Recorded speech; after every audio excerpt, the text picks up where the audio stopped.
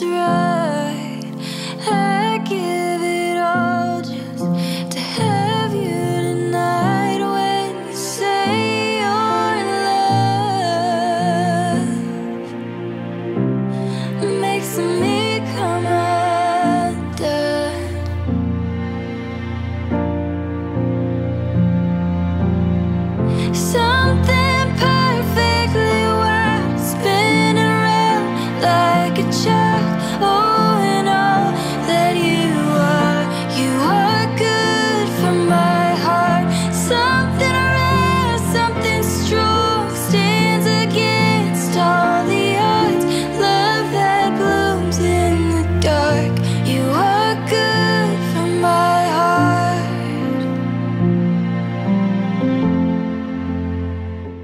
Rachel, yr wyf yr rhai i ti y fodrwy han.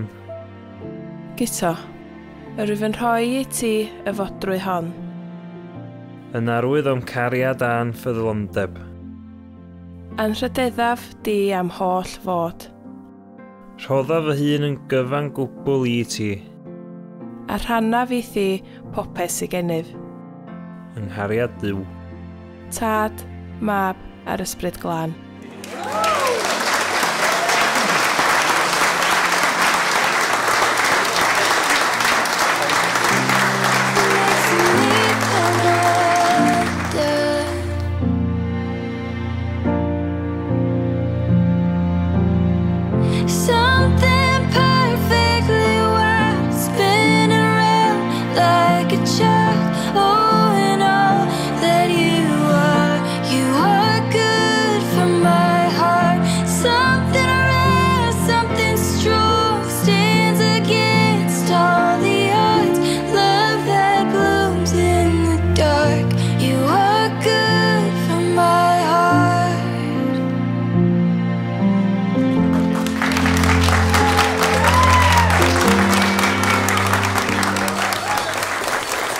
A dyma fi wedi cyrraedd y diolch dwytha, a hwnnw'n mynd i'r edge, a lle dwi'n dechrau. Diolch a fod rhaid i fyny fo fi, ac am rando na'n cwyno.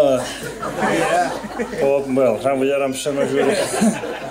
Dwi jyst eisiau gwybod faint o bles, i chdi wybod faint o bles ar wedi dod yn ôl i ti gyda nos atat.